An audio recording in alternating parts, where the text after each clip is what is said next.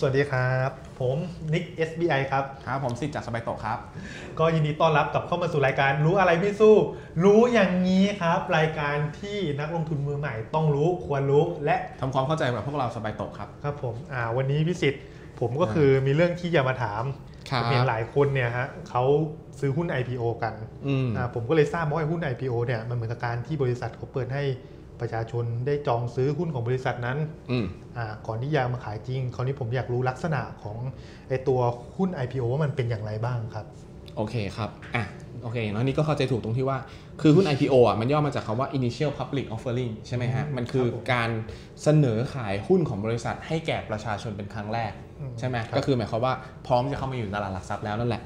แต่ว่าลักษณะของ IPO คืออะไรหนึ่งเลยก็คือในมุมมองของนักเทคนิคของพี่เนี่ย เมื่อตลาดเมื่อนักเมื่อหุ้น IPO เข้าไปสู่ตลาดแล้วเนี่ยอืมพี่ยังไม่สามารถหาแนวรับแนวต้านของมันได้ เพราะว่ามันยังไม่มีราคาขึ้นมาอืมใช่ไหมฮะเพราะว่าเป็นครั้งแรกที่มันเข้าไปสู่ตลาด ดังนั้นลักษณะของหุ้น IPO ก็คือ มันจะไม่รู้ราคาตลาดที่แน่นอนครับอืมและไม่สามารถหาแนวรับแนวต้านได้นะครับราคาหุ้นมันเลยวิ่งเนี่ยแบบขึ้นได้เรื่อยๆ หรืออาจจะลงได้เรื่อยๆเหมือนกัน เราไม่สามารถเราไม่สามารถรู้อ่ารู้ทิศทางของมันได้เลย ดังนั้นเนี่ยลักษณะของ IPO มันอาจจะมีความผันผวนบ้าง ซึ่งนี่ก็เคยเห็นแล้วหลาย ๆ ตัวใช่ไหมฮะทั้งอย่าง OR ที่เปิดขึ้นไป แล้วก็แบบอืมขึ้นไปเป็นเกือบร้อยเปอร์เซ็นต์หุ้นคิสที่ขึ้นไปเกือบร้อยเปอร์เซ็นต์หุ้น TQR ขึ้นขึ้นไปสองร้อยเปอร์เซ็นต์อะไรอย่างนั้น แสดงว่าในช่วงแรกของ IPO เนี่ยมันก็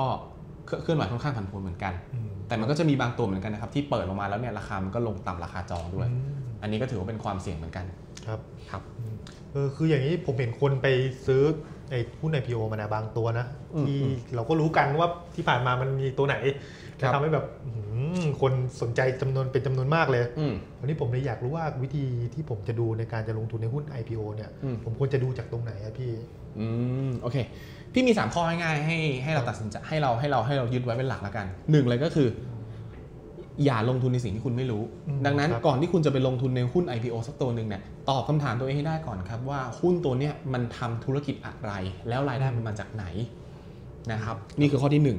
ข้อที่สองก็คือวัตถุประสงค์ของการระดมเงินทุนนะครับอันเนี้ยต้องดูให้จงหนัก เพราะว่าบางหุ้นเนี่ยโอเค หุ้นบางตัวระดมเงินทุนไปเพื่อลงไปลงทุนในโครงการใหม่ๆ โอเค เข้าใจได้ก็คือเป็นการระดมเงินทุนไป และเราจะได้เห็นการเติบโตในอนาคตอันนี้ถือว่าดีอืมแต่มันอาจจะมีหุ้นแต่อาจจะมีบาง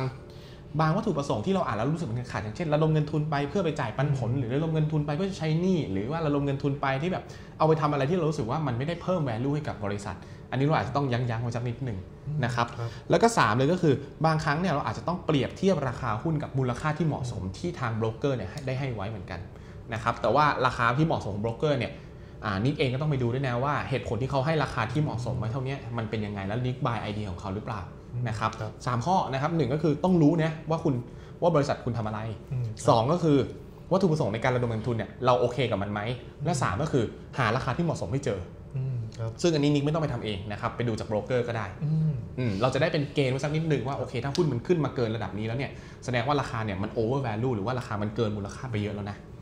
ประมาณนั้นครับครับก็สำหรับใครที่สนใจในตัว IPO